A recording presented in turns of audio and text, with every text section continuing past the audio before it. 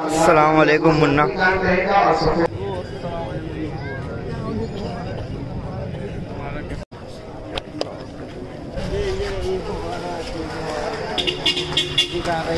आज ईद मुबारक Eid welcome back to the new blog और सबको ईद मुबारक। और अभी हो रहे हैं सुबह के साथ और बस मैं जा रहा हूँ रेडी होने रेडी होके मैं। अस्सलाम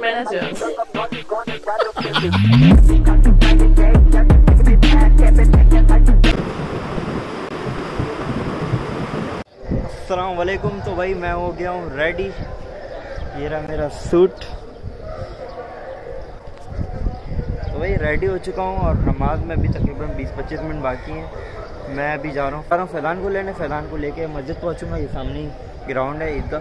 तो फैलान को लेके पहुँचते हैं, नमाज़ पढ़ते हैं, नमाज़ के बाद देखो। ठीक है? सबको मेरी तरफ़ से ईद मुबारक। तो भाई मैं फैलान के घर आ गया हूँ। फैलान जल्दी आ। जल्दी जल्दी बैठ। दस मिनट बाकी है।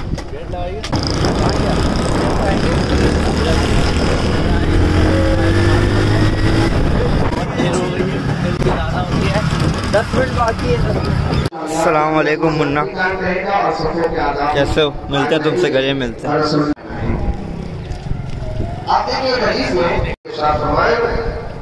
के बाद सजद सजदा के बाद जब उठेंगे हम दूसरी रकत के लिए तो फिर पहले किरात होगी, तिलावत होगी। उसके बाद, तिलावत के बाद कहा जाते हैं? रुको में ना? लेकिन इस नमाज़ की खासियत ये है कि रुको में नहीं जाना है। आपने पहले तीन तकबीर जायद कहने हैं। तो इमाम दूसरी रकत में जब कहे, तिलावत के बाद अल्लाह अकबर तो कानों तक हाथ ले जाएँगे, छोड़ देंगे। दूसरी तकबीर में भी इमाम कानों तक हाथ ले जाएगा, आपने भी ले जाना और उसके बाद छोड़ना है। तीसरी तकबीर में भी कानों तक हाथ ले जाएँगे और छोड़ देंगे। अब चौथी तकबीर में बगैर हाथ उठाए अल्हम्दुलिल्लाह अल्हम्दुलिल्लाह हम्द शाकिरीन। अल्हम्दुलिल्लाह कमा नकुल व खैरम मिम्मा नकुल। अल्हम्दुलिल्लाह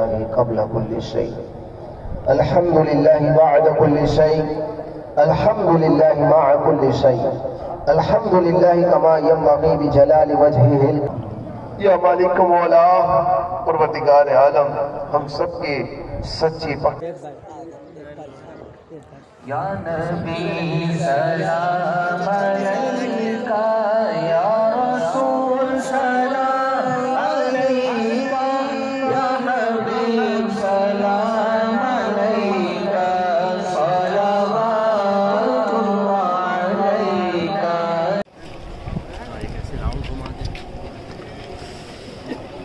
ब्लॉगर की ज़िंदगी।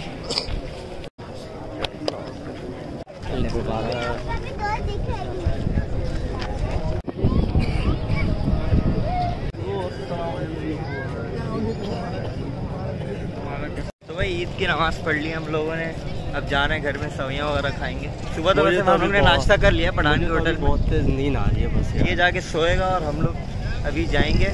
समय वगैरह खाएँगे ईदी वगैरह थोड़ा लेंगे अब्बा वगैरह से गले गले मिलते हैं। अब्बा आए नहीं है दूसरे जगह गए अब्बा।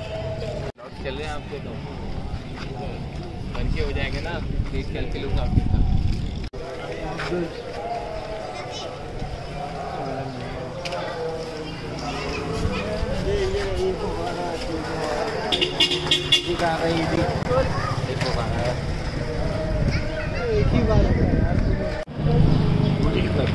सर सर अभी तो पेपर वगैरह देना अगले अगले रमज़ान तुम्हारा करीम मुझसे एक और दोस्त के घर हम आ गए लाइक तनीन लोग कहाँ कहाँ नमाज़ पढ़ने जाते हैं। एक जगह पढ़ा आज एक ही मिलता है हर कोई खींच खींच के तीन।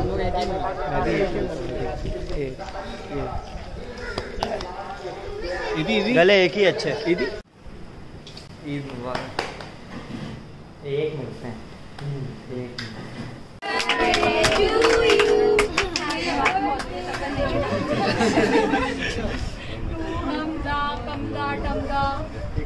कल ये हुआ था कि मैं नमाज़ पढ़ के आया, सबसे मिला हुआ सो गया। शाम में उठा, ऊपर दावत थी तो दावत पे चले गए, वहाँ सारे कदम से तो वहाँ मैं ब्लॉग बना नहीं सकता था, इसलिए मैंने ब्लॉग बनाया नहीं। तो जितना मैंने आपको दिखाया पिछले ब्लॉग में, बस वही इंजॉय कर लो यार। क्या करें फैमिली के सामने ब्लॉग बनाओ ना सब कुछ हैं देखो क्या कर रहा है। कहीं बाहर जाओ। अरे पाकिस्तान में तो ब्लॉगिंग है ही नहीं। बड़ा मुश्किल से ब्लॉग बनाता हूँ मैं। तो बस आज दूसरा दिन है। लाइक बाहर खड़ा हुआ है। जा रहे नाश्ता करने। सुबह सुबह आठ बज रहे कोई उठा है नहीं। तो नाश्ता करते हैं। उसके बाद देखते हैं आज क्या होता है। आज शायद मामू के घर भी जाना है। तो देखते हैं क्या होता है। आज है ईद का दूसरा दिन। और रोड खाली है यार। सब सो रहे हैं। इस टाइम पे इतना ट्रैफ़िक होता है ना इस रोड पे मत पूछो आप। बस हम लोग जा रहे हैं नाश्ता करने जा रहे हैं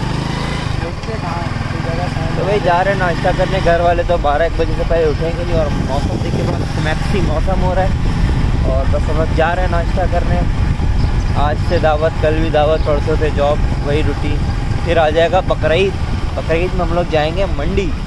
और मैं इंशाल्लाह दस दिन तो डेली व्लॉग, रमज़ान का मैंने कहा था डेली व्लॉग नहीं बनाया, लेकिन मंडी का तो बनाऊँगा। क्योंकि रमज़ान में डेली व्लॉगिंग बहुत मुश्किल है रोज़ा रख के अब मैं जॉब से आता हूँ तीन चार बजे तो वीकनेस हो जाती थी, बना ही नहीं पाता था, वो बहुत मुश्किल था। रमज़ान में तो कोई, बकरीद में तो कोई रोज़ा वगैरह है नहीं। तो इन मैं दस दिन डेली जाऊँगा मंडी और डेली ब्लॉग बनाऊँगा। ठीक है, जा रहे भाई, नाश्ता करने बाद भूख लगी ओके।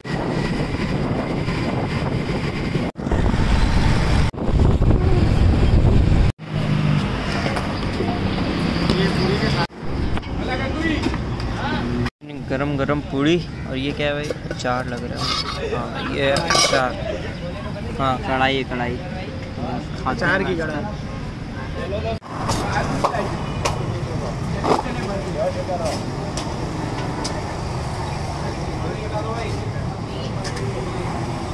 मज़ेदार। मज़ेदार। मुबारक ईद मुबारक। हे हे हे। मुबारक ईद मुबारक। मुबारक ईद मुबारक। मुबारक ईद मुबारक। मन्नो, इधर देखो, इधर। ईद मुबारक ईद मुबारक। नाश्ता करके घर आ गया हूँ। अभी तकरीबन ग्यारह बज रहे हैं और अभी तो मैं जा रहा हूँ सोने और शाम में उठेंगे या दोपहर में उठेंगे और जाना है आज मामू के घर। तो मैं ब्लॉग यहीं एंड कर रहा हूँ। नहीं बनाया जा रहा भाई मुझे ब्लॉग बहुत मुश्किल है ब्लॉगिंग करना। तो बस मैं जा रहा हूँ, सोने लाइक करो सब्सक्राइब करो शेयर करो और बेल आइकन को प्रेस करो। ठीक है ओके